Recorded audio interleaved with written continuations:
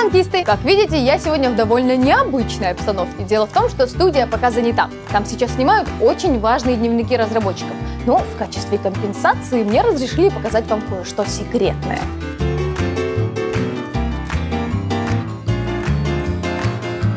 Ну а я решила поступить как большинство популярных блогеров. Нашла угол поуютнее, наклеила пока все в танковые обои, и вот стою такая перед вами вся ведущая, но довольно лирики. Сегодня мы узнаем, как женщина оказывается на стене. Дадим Зиме еще один шанс, выберем очередной счастливый шарик и научим танкистов чему-то новому.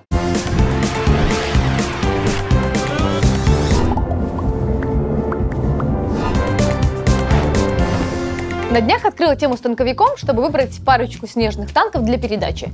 Но что-то работы пока маловато. Впрочем, неудивительно, ведь не у всех еще даже снег выпал, и форум трещит по швам от грустных сообщений. Ситуацию прокомментировал главный по конкурсам. Ну что там зимой? Зима неизбежна. Как видите, волноваться нечего, тем более конкурс проходит аж до 8 марта. Как выглядит календарь настоящего танкиста? Может быть, там должен быть горячий КВ-1С с разных ракурсов? Может, но есть и другой вариант. Wargaming и мужской журнал «Максим» собрали в одном месте женщин покрасивее и устроили им фотосессию аж на 12 месяцев вперед. Как это было? Смотрите в нашем сюжете.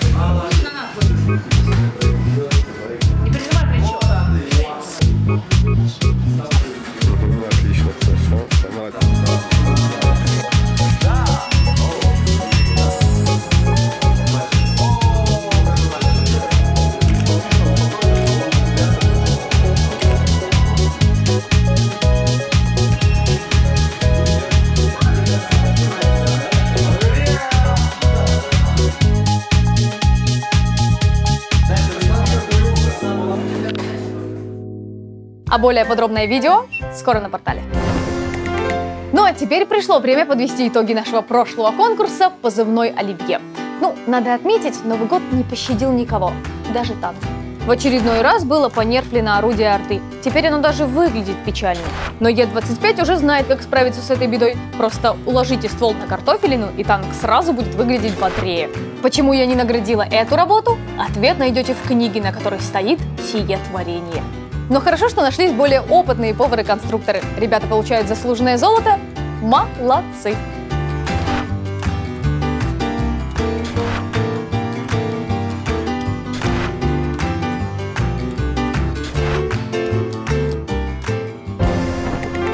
Ну а теперь наш новый конкурс «Мастер на все перки». Вам нужно придумать новое умение или навык для экипажа, нарисовать для него стильный значок и разместить в специальной конкурсной теме. Ссылка внизу. Для тех, кто умеет рисовать только огурец, но очень хочет поучаствовать. Не надо приходить с идеей огуречный боекомплект или отчаянный огурец. Вся работа должна быть оригинальной и качественной. Всем удачи!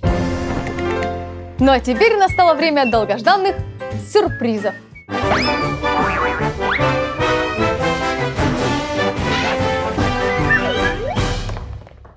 Сейчас из этого барабана я снова достану один шарик с названием танка седьмого уровня, на ветку которого и будет скидка. Подробно все акции, как всегда, по ссылке, а мы не теряем времени и крутим барабан. Итак, нашим сегодняшним счастливчиком или счастливицей стал Т-34-1. А это значит, что в ближайшие две недели вы получите скидки на танки этой ветки и бонус к прокачке экипажа. Но это еще не все. Вы все еще можете поучаствовать в народном голосовании и сами выбрать танк, на ветку которого и будет скидка. А в прошлый раз вы проголосовали за советский средний танк А-44. Так что в ближайшие две недели скидка распространится и на эту ветку тоже. Поздравляем! Теперь вы сможете прокачать эти танки быстрее, а самое главное – дешевле.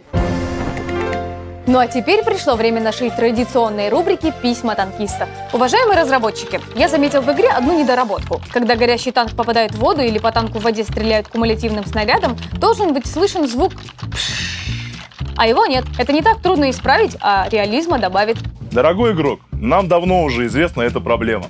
И вот уже как два года мы проводим кастинг среди наших сотрудников на лучший звук.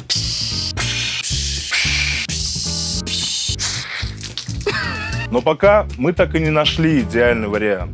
Но мы работаем над этим. На этом с письмами у меня все. Присылайте ваши вопросы и истории на наш почтовый ящик. А с вами была Ася. Это, пожалуй, все интересности на сегодня. Подписывайтесь на канал и не пропускайте новую серию танкового мультика.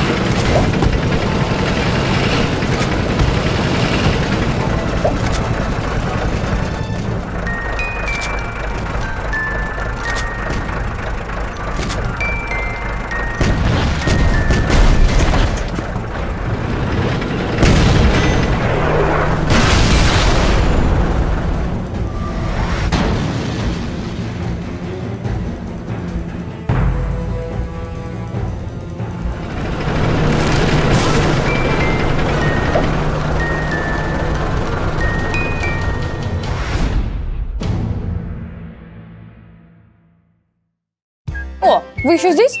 Я тут узнала, какие акции будут проходить в ближайшее время по выходным. Все эти неснимаемые X2, скидки, серебро. В общем, лично я себе воскресенье под это дело забронировала. Подробности на портале, а ссылка в описании.